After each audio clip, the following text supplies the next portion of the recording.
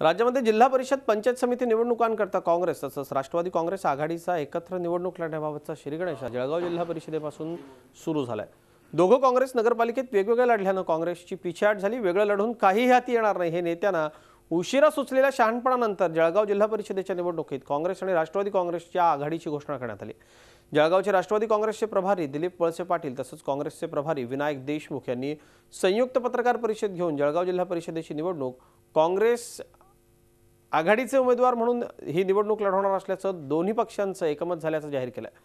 जागा वाटपाकरता दोन्ही पक्षांची जिल्हा पातळीवर एक समिती स्थापन करण्यात आली. जागा वाटपात कुणी किती जागा लढवायच्या हे निश्चित झाल्यावर वरिष्ठांशी चर्चा करून निर्णय घेण्यात येणार आहे. गेल्या अनेक वर्षांपासून जळगाव जिल्हा परिषदेवर भाजप शिवसेनेची सत्ता आहे. ती ताब्यात घेण्याकरता आघाडी केली असून लोकांनाच वाटतंय की अहंकार बाजूला ठेवून दोघं काँग्रेसने एकत्र लढलं पाहिजे. म्हणून आम्ही आगामी निवडणूक एकत्र लढल्याचा निर्णय घेतोय असं यावेळी आघाडीच्या नेत्यांनी संयुक्त पत्रकार परिषदेत सांगितलं.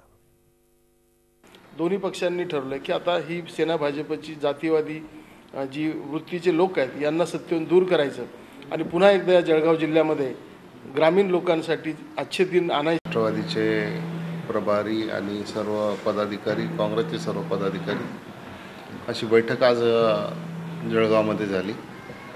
प्राथमिक स्तरावर एकत्रितपणानं निवडणुका लढवाव्या अशा प्रकारचा एक निर्णय या ठिकाणी झालेला आहे.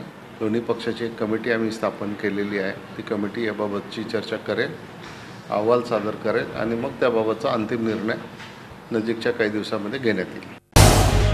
झी चोवीस तास रहा एक पाऊल पुढे.